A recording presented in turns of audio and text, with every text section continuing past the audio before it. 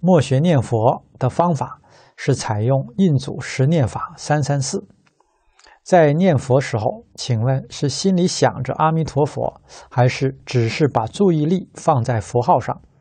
另外，在念佛时总是害怕自己念的不如法，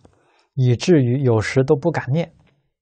导致无法精进修学。请问该如何解决这个障碍？念佛十念法，哎，胡小玲老师呢，他这个介绍的也很详细。啊，那么他主要主张呢是这个计数啊，你用三三四计数也行，用五五计数也行啊，这个你自己方便。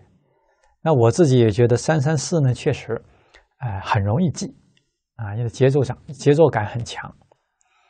啊。那么十念法的关键在于口念出来要听进去啊，听得清清楚楚。口念的清清楚楚，心里也记得清清楚楚，啊，不要贪快，啊，一个字一句的都要清清楚楚，啊，在注意力啊，还是专注在听自己念佛上，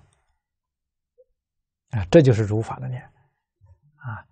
你只要听到就行了，啊，别再想其他的，啊，不要害怕说我念的不如法怎么样，这些都是妄念，都要放下，你只要。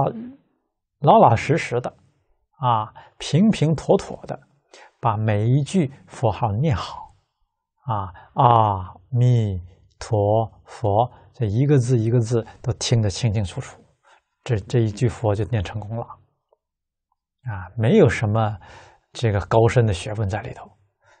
贵在老实，啊，你老实真念下去就行，